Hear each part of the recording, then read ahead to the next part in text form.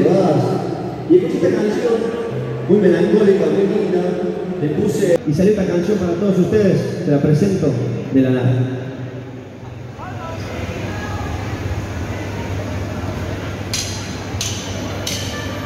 Yo sé que volverá, aunque pase todo el